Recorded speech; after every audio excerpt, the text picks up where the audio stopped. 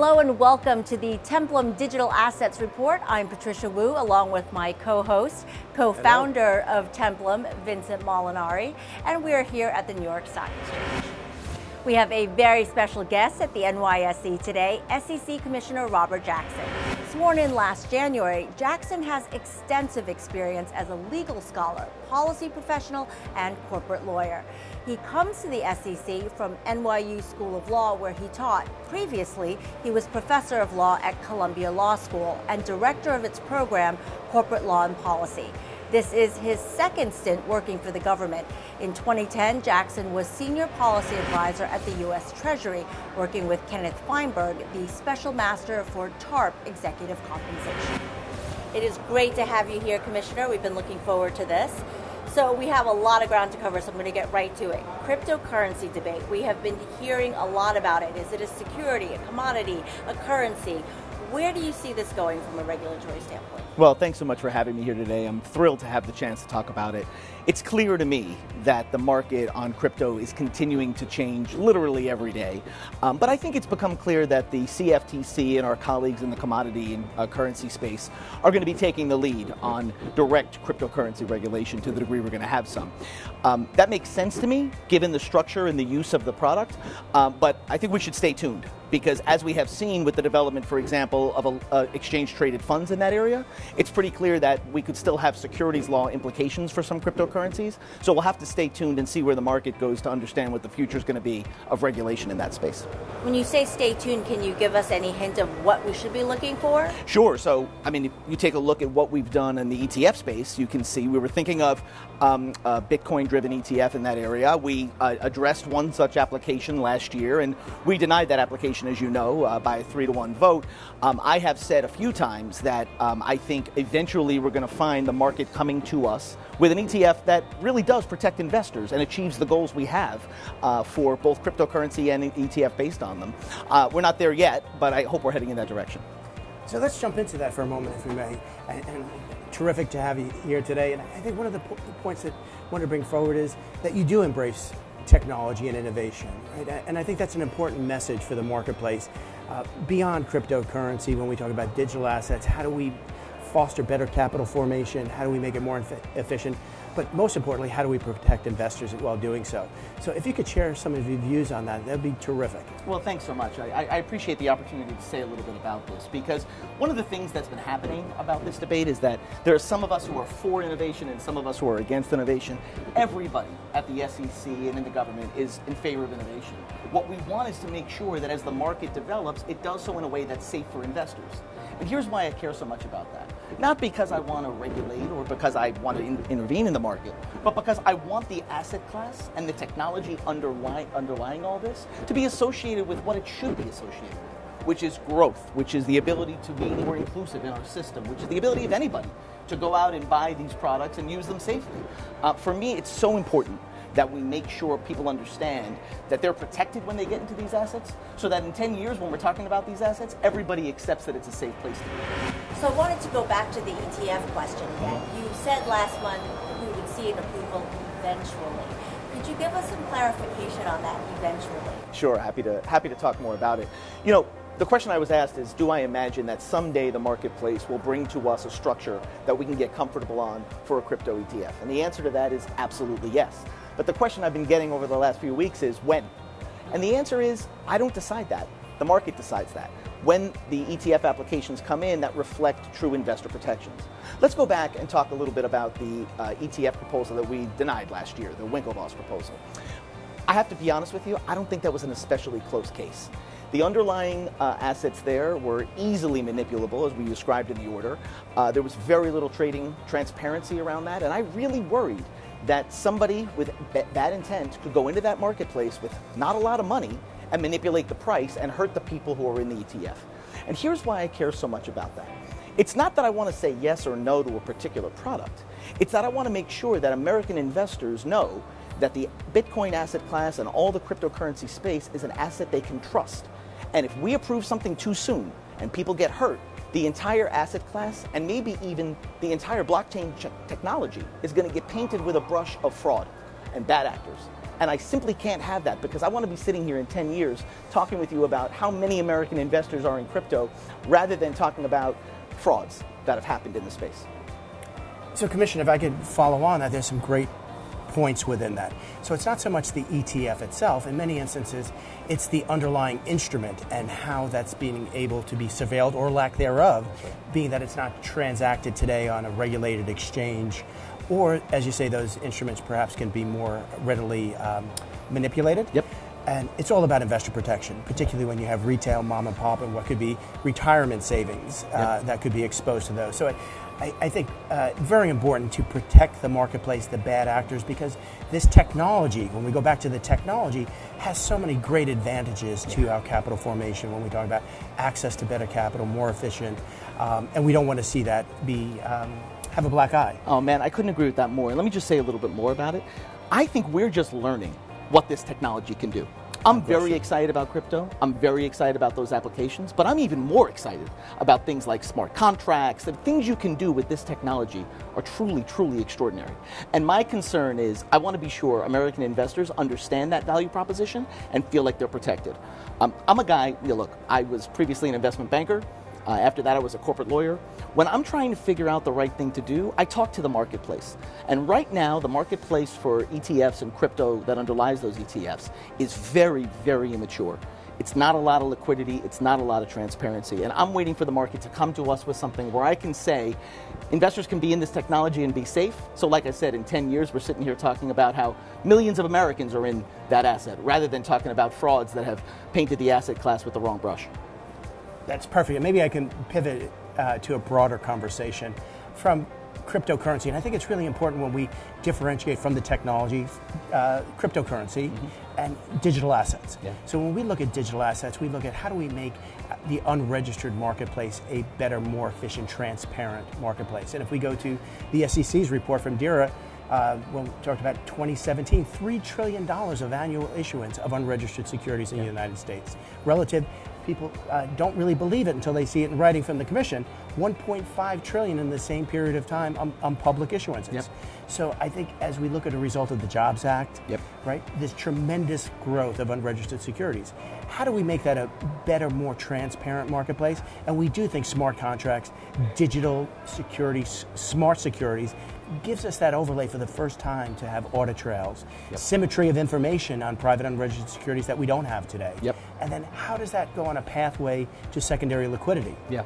So are we then changing our thought process around what a private security was and intended to be versus where it's morphing today relative to maybe blurring the lines a bit with public and private? Well, I'll tell you, I'm, I'm very excited about where this is headed because if we just step back and ask ourselves this question, right now, the private capital markets are as vibrant and as exciting as they've ever been, really, in American history. No question. And a lot of people talk about that as if it's a problem because there are fewer IPOs. And I, I actually agree. Our chairman has said we want to encourage companies to come public, and, and I don't disagree with that. But in the meantime, as private companies are getting funded, uh, with this sort of capital that they can do in, in significant scale, we need to think about, with all those unregistered securities, what is a system that we can be comfortable with for them to be uh, to be traded, to have secondary liquidity in those instruments. I'm very excited by the potential of technology to open that door, and I think once we do, American investors, uh, so long as we can have investor protections in place, are going to embrace it. And we might get more and more opportunities for ordinary investors to participate in the most exciting startups in our country. You know, Vince, I'll tell you, one of the things that keeps me up at night is the idea that the most exciting growth stories in America are not including American investors. You know, when I was a banker, we had great, exciting new companies, but we took them public. And ordinary mom and pop investors, Mr. and Mrs. 401k, could be invested in those companies. Today, Uber's had a great growth story, but it's limited to a very select few. And I think we need to change that, and I think technology is the answer. Amen. And I, you know, I could talk about this all day long, but it goes back to the early days of the Jobs Act, the democratization of capital formation, the access of that new product, and opening up for wealth creation for investors who don't have that opportunity. That's right. So I think when we do look at this technology ability to be able to surveil, to be able to have investor protection early in the cycle is so important to our growth as a nation, to our job creation, and really our economic prosperity. So I couldn't agree with you more. Well, that's exactly right, man. And just let me add one more point. I, I'm of the view that the answer to this problem is not to roll back investor protections. I understand why I have colleagues who say, you know what would be great? Why don't we just all get out of the way and let private capital trade as, uh, as if it were public capital? I have to tell you, I think it's a mistake. For the same reason I think it'd be a mistake for us to approve a Bitcoin ETF too soon. The reason it would be a mistake is if we don't have those investor protections in place, ordinary American investors will get hurt. And when they get hurt, people will not be as willing to make those investments. And that's just not good for the long run growth of our markets and our economy.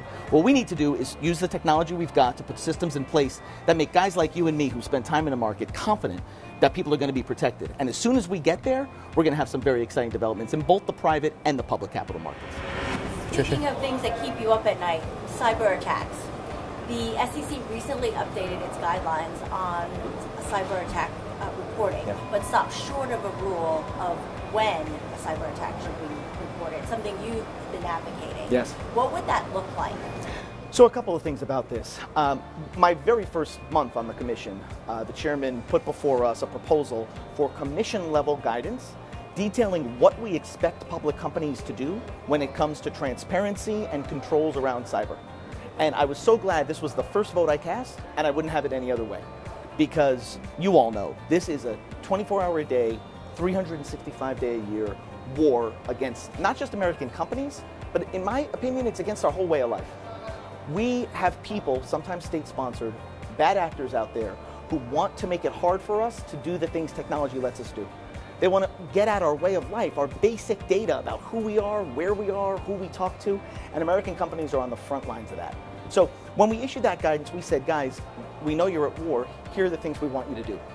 And a few months later, my office did a study where we looked at all of the data breaches in public companies in 2017, and we looked at how often those data breaches led to public disclosure to investors.